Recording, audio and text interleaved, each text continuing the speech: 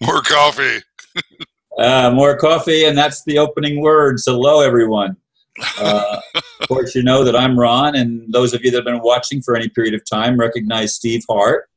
And uh, today he's going to lead the discussion on seeing the invisible. And so I'm going to let him uh, take it away and uh, share with us some of the insight that he has on uh, on that subject. Again, seeing the invisible is the title. Good morning, and it is morning. I, I even though it's almost eleven o'clock, which is shortly after eleven o'clock here on, in uh, Florida, um, I'm, I'm a little bit slow about waking up some days. And uh, so when Ron contacted me and said, "You want to do this this morning?" I'm going, uh, "Can't we do it this afternoon?" oh, we could have. yeah, well, I uh, I I start connecting to spirit and start getting the information, and I, so that's why we're we're moving with it now. And uh, and I, I do have more coffee, and that helps out. So you know. okay. Anyway, uh, seeing the invisible. Uh, this is one thing that I have uh, uh, learned over the past 15 years. There's always been this sense of seeing the invisible within my childhood and in my rearing, but um, in the last 15 years, it's become more real to me.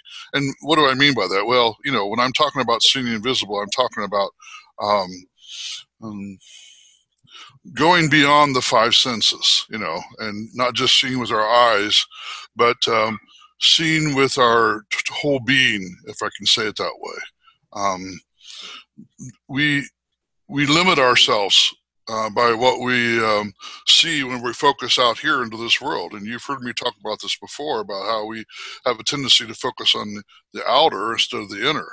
And to see to see the invisible, you have to focus on the inner being within you, because uh, we are connected. That's where the connection is to the invisible.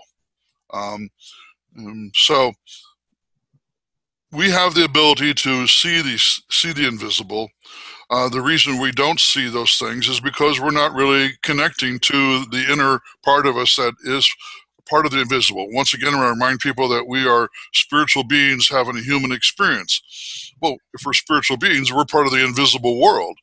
And we're more than just these bodies. And uh, so that's what I want to emphasize. And I'm assuming that people understand, uh, the people who are listening, that, that the, the world in which we live in is nothing but energy patterns in flow, in motion, in light, in consciousness, um, without having to try to convince people of that.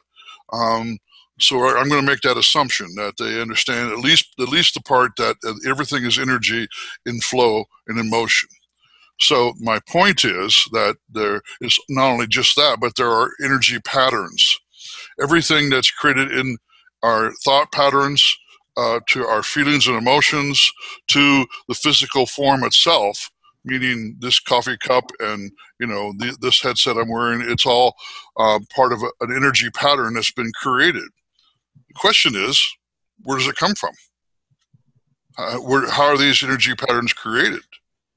Um, uh, I, in my opinion they've always existed. That's true. That is true.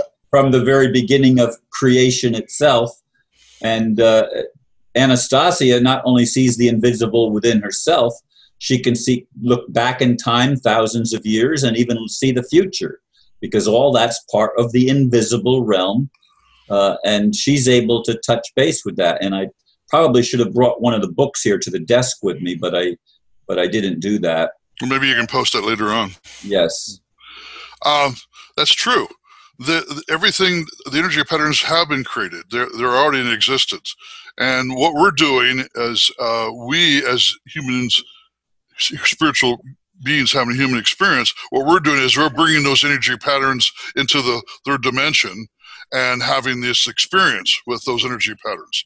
Because in the invisible they already are exist. But what we have to do to if i as i understand it what we have to do is we have to create within the invisible realm the energy pattern that we want to bring into the physical. So the energy patterns are already there but what we have to do is we have to sh- uh, shift them or shape them through our consciousness is what we're doing yeah the part of the problem is i, I am sure you'll agree that uh, that the leaders in our world have fragmented the thing so that we definitely so. even even when we see the invisible we usually see only one dot of the invisible the part that we're trained to focus on be it medicine and, and well that's exactly right and that's where i want to go with this because the point is is that the cabal or those who, or the elite you refer making reference to they are very much aware of all of this Yes. And they are manipulating and using us against us to enslave us. I forgot to turn my phone off here. And um, so, yeah, that that is the truth. That is true. They're aware of that, so we need to become more aware of what who we are and are and be aware of what they know, so that they cannot use it against us. But let me let's go back before before we get to that point. Let I want to make an emphasis about the fact that this is real. There is a universal law, which I know as a law of correspondence, but most people know it as the law as above, so below, as within, so without and that's that law does not change. I don't care at any time point in time or any planet in the universe in which you live upon. That is a true statement. That that in that whatever is in the physical comes out of the invisible, and it's created that energy pattern. that comes into physical, like this coffee cup. I mean, somebody had to come up with this idea, how to design this idea as a thought pattern before it became physical, and they actually made the cup itself. We do that with everything that's how things are created into a physical form. But what we don't understand is that we are the generators of that energy or the, to allow those patterns to to come into existence. We have the power to um, I'll use the word manipulate or rather to create or however you want to perceive it. You know, there's different ways of perceiving. We are creators, but we were taught that we weren't. That's exactly right. We and and and because the fact that we're taught not to understand that and to focus on the outside instead of the inward, that's why we get so confused about how this transformation is supposed to be taking place. Because we have a tendency to want to focus out here and not focus inside, and the transformation is really taking place in in here in the invisible. And when we create it in the invisible, it eventually comes out into the physical. And in there you see you got the this pattern of infinity. You know, it starts here and then moves out into the physical. So that's the pattern that it creates. So there is a a, a vibrational density, meaning uh, as things come out of the invisible into physical. So the it becomes more dense as with our thought patterns, and, and we're capable of doing that.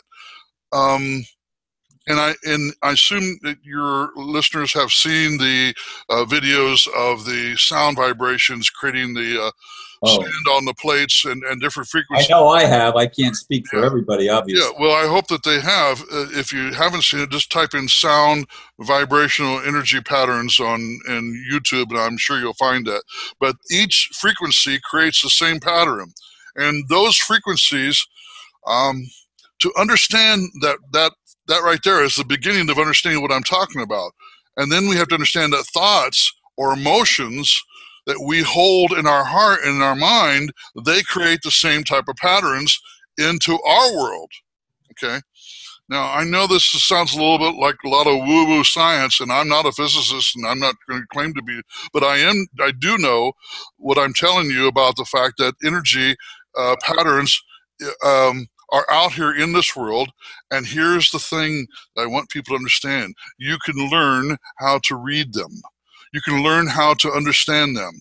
And the way, only way you can do that is by going within and opening up into your higher self and allowing your third eye, to, which is the pineal gland, to open up and to actually show you these patterns in the movie The Matrix, that was one the one scene when when yeah. when Neo began to understand he actually saw the Matrix as it was, which was nothing but dots. I mean, numbers and zeros and and um, digits, and um, and but those were the energy patterns.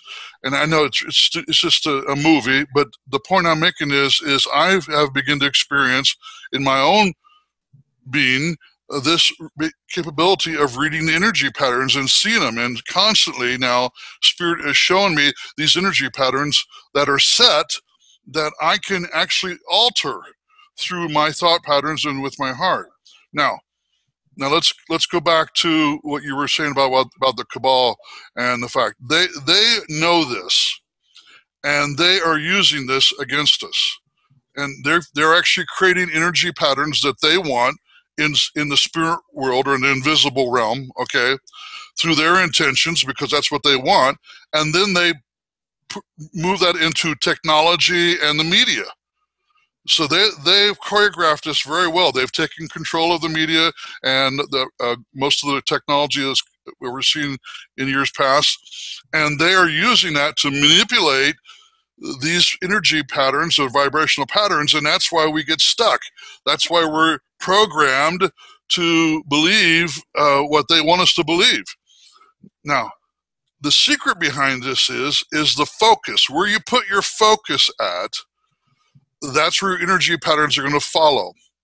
Now, so if we're being sucked into the the matrix or the machine through the media and through technology uh, at their favor, then we're going to uh, be deceived by this and believe that it's real, and and they work off of our emotions. When they put things in the media, they are they know that and in movies, it, it, it, there are little things that they do that they're they're very conscious of.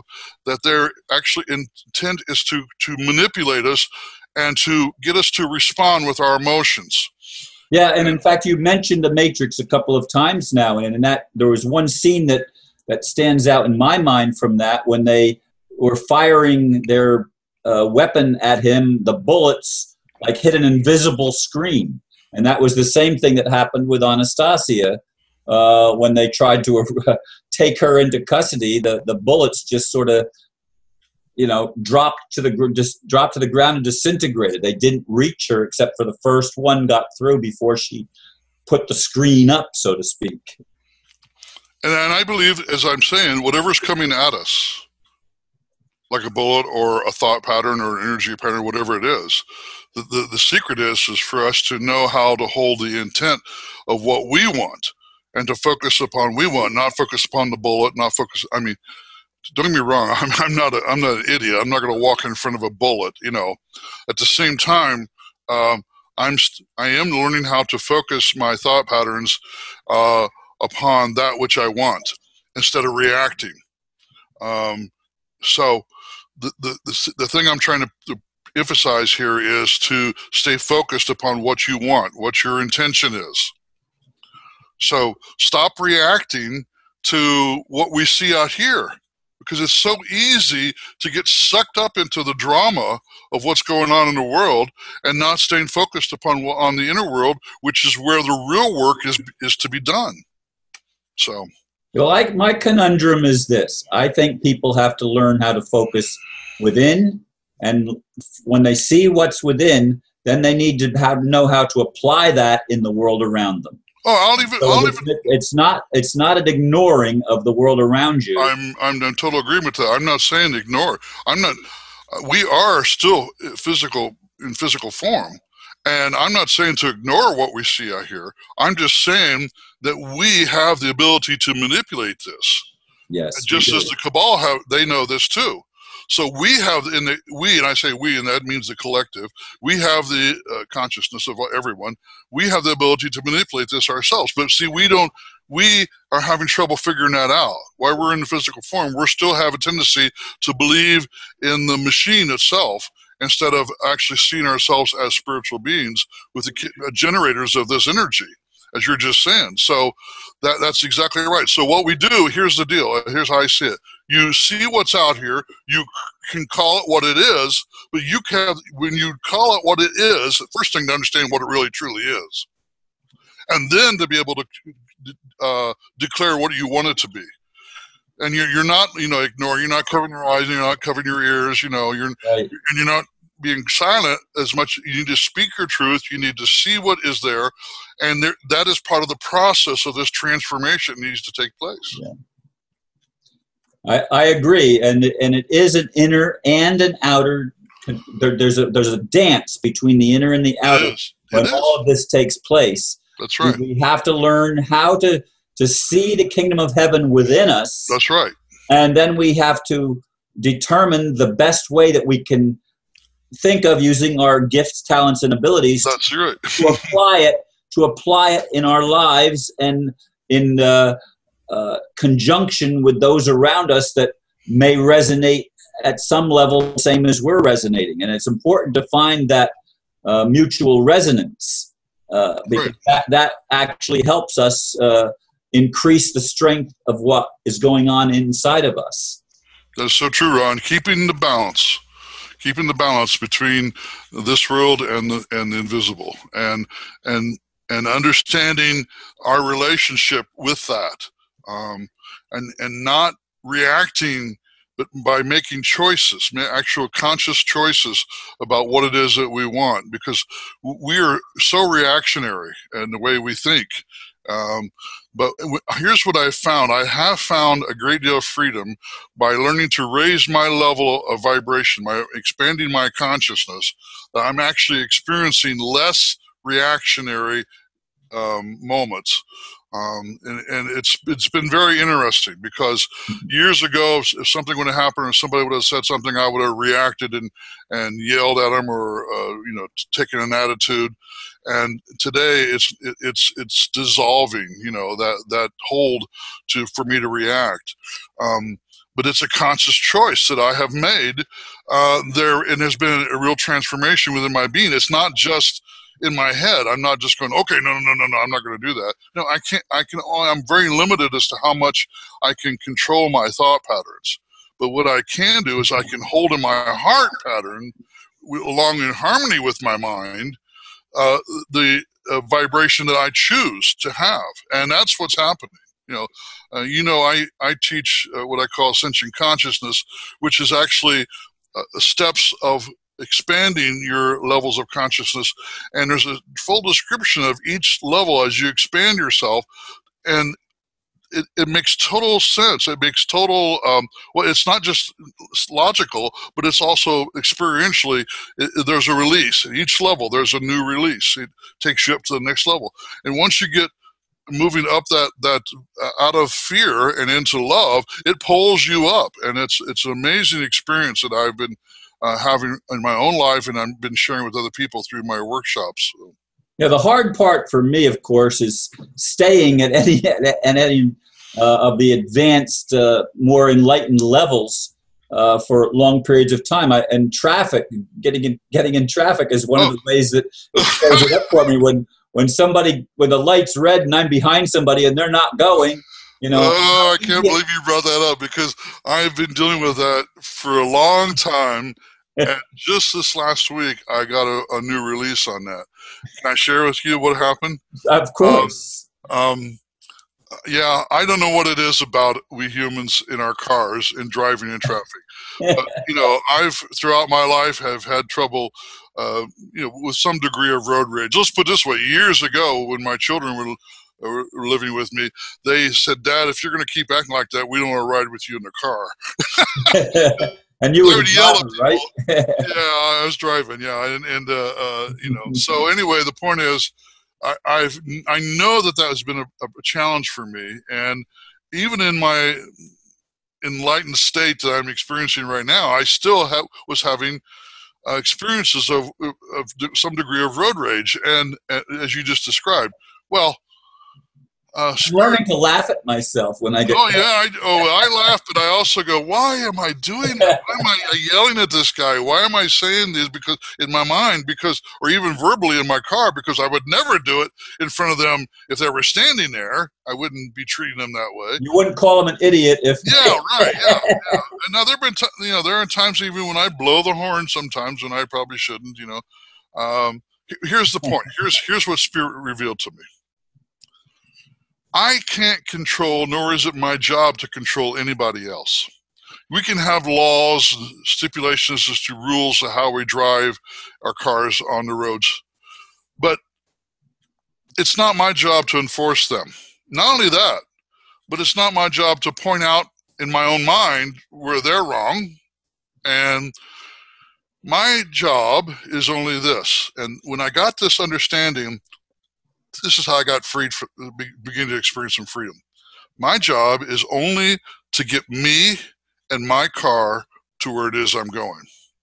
Whatever happens around me, I have no control of that. I just need to stay focused on me and my vehicle, which I'm in control of. That's where my responsibility is, and getting it to where it is I'm going. That's all. And when I begin to say life, yeah, right, it's true.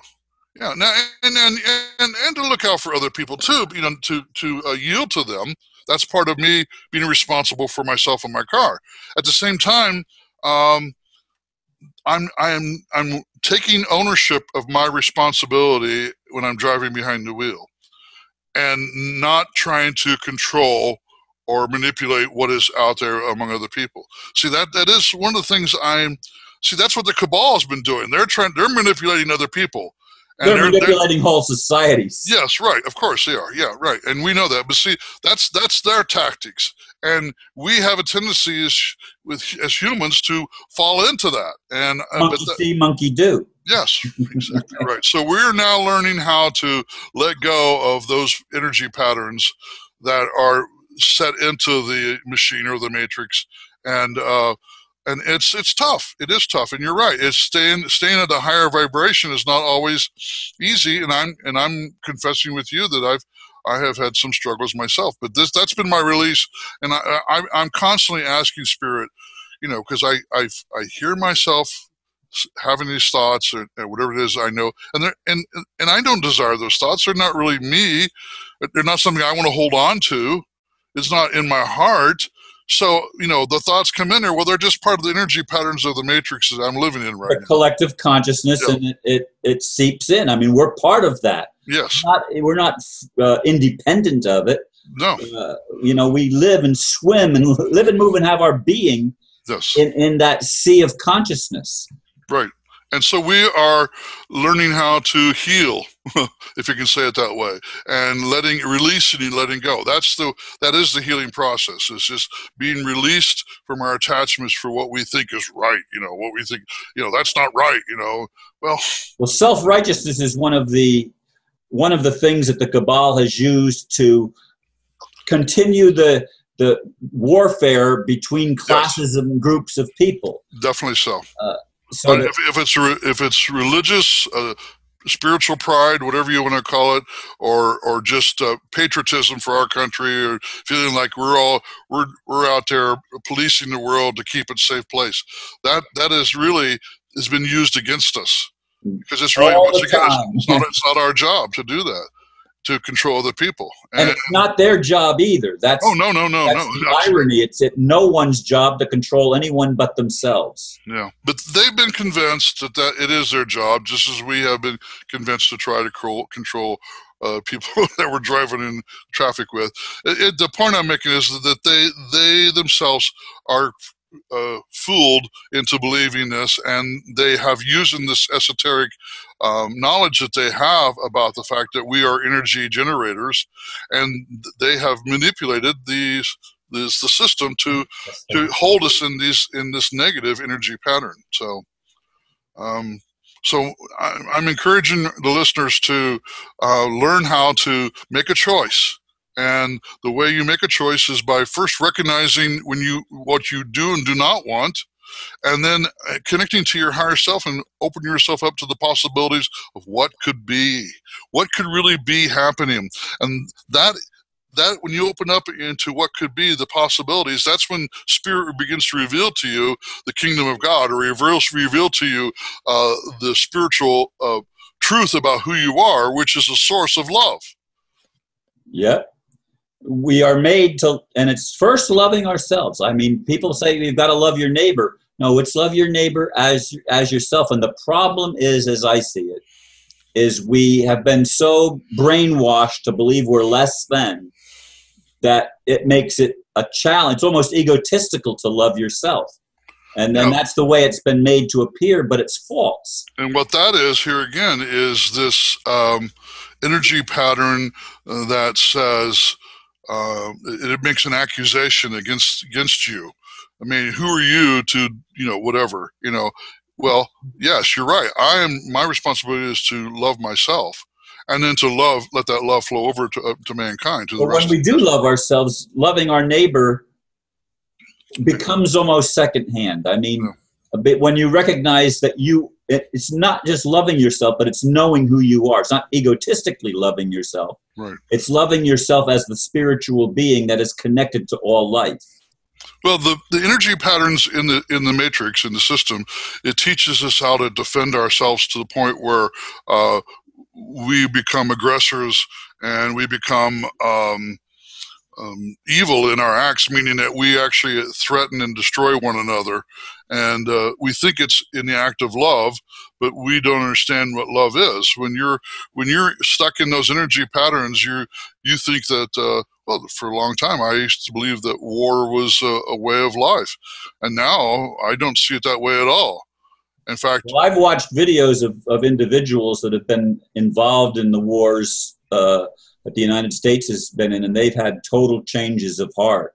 You've probably seen oh, those videos as well. Yeah, I, I, was never in the military, Ron, but I but um, what I know, uh, I'll tell you that's true. I I I've been I've talked to people who've been in the military, who have been in wars, and um, my heart goes out to them. Um, I'm I, I, do believe that we need to have a military to defend ourselves, but not to acts in which we've been corrupted. It's been corrupted to create the, the activity that we as the United States Army or military have, uh, have, have instigated because they're, they're being controlled by the cabal right now too. So um, the, the point I'm making is is is is us to wake up to the truth of this and to un, and and and to find a balance here again. As I we just brought this thing about the military. I mean, and even even owning a gun in your own home. I mean, I believe believe that people should be able to defend themselves. If they if they choose to have a gun, they should be able to have that. And we as a nation be able, should be able to, be able to defend ourselves. At the same time, to become aggressors, to allow that to be to use that for corruption, and anybody could take a, a gun and become aggressive and go out and try to manipulate and control the world. Um, Did you ever watch the movie uh, where they had uh, a, a, like a it was a it was Christmas Day, and they decided to stop shooting at each other. The Germans and the Americans oh, were across. No, it's not just a movie; it's a true story. Oh yes, it's a true story. Oh yeah, yeah. And I, they I, could after after they had gotten together and and talked to each other and uh, ate food together and everything. They could no longer continue the war. They had to send them off in different directions. And not only that, but they had to threaten them. The the, oh, uh, the leaders of each army had to threaten their soldiers to go back and fight again. And you're right. It man. it shows we have bad leadership. it shows that, but it also shows you how easily we were manipulated. Yes. Because we, we we're manipulated to believe in whatever it is we're fighting for, as though as that that's the truth.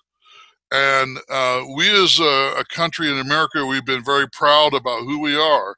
But even pride itself, it, which is higher than fear and anger, is still a low vibrational uh, energy compared to what we call neutrality or acceptance of what is. And the, the, the, challenge is, is that we hold as pride. Well, we're a proud nation. When now we've learned to become a, a, a, a courageous nation. Yeah. So, why we run out of time?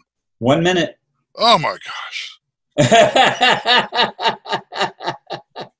and we kind of got off the subject here about seeing the invisible, but but that's what it's all about. The only way you can comprehend and understand what this is all about is by seeing the invisible. And the way to see the invisible, as I mentioned a while ago, is is through the third eye, through opening up your through meditation, getting quiet, go within, and begin to focus on those things, and you'll begin to understand what's going on out here. Yeah, that's true. And I thank you, Steve, for taking the time once again to uh, share about seeing the invisible and other things that came into the conversation. Yeah. It's always interesting because we never know exactly where it's going to go. but I appreciate you taking the time, and uh, and we'll put this up on uh, on YouTube for tomorrow's video. So, Great. thank you very much, and namaste.